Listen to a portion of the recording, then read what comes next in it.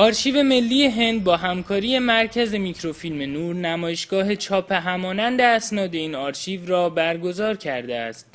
این نمایشگاه که مجموعی از نفیسترین اسناد همانندسازی شده آرشیو هند را به نمایش گذاشته مورد توجه گسترده متخصصان و پژوهشگران رشته کتابداری قرار گرفته است.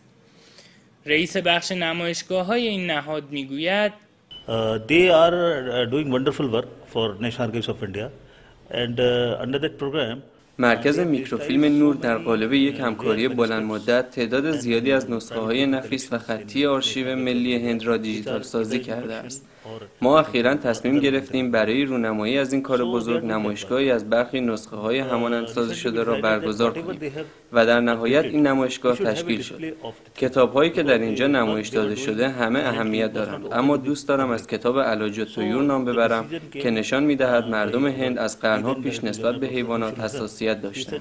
استاد عزیزالدین محمد رئیس کتابخانه رضای رامپور درباره اهمیت چاپ همانند این آثار می‌گوید By making these facsimile copies of these important documents, we can display for the general public so that when they are coming to visit با تهیه نسخه های همانند می توان نسخه های اصلی موجود در آرشیو ملی هند را حفظ کرد و از نسخه های همانند برای مقاصد پژوهشی و همینطور نمایش عمومی استفاده کرد.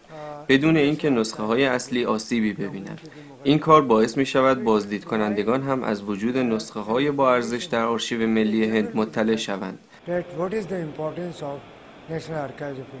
این نمایشگاه تا کنون با استقبال خوب بازدید کنندگان هندی و خارجی مواجه شده است. به نظر من این نمایشگاه خیلی تاثیرگذار است چرا که کارهای خیلی ارزشمندی را به نمایش گذاشته است. برای پژوهشگران خیلی مفید است که با مجموعه منابعی که در آرشیو ملی موجود است آشنا شوند. علاوه بر کتاب‌های خطی و نفیسی که در این نمایشگاه ارائه شده، پیام دیگری که این نمایشگاه برای بازدید کنندگانش داره، اهمیت گذشته مشترک فرهنگی دو کشور ایران و هند است. مصطفی پور محمدی، شبکه خبر، دهلی نو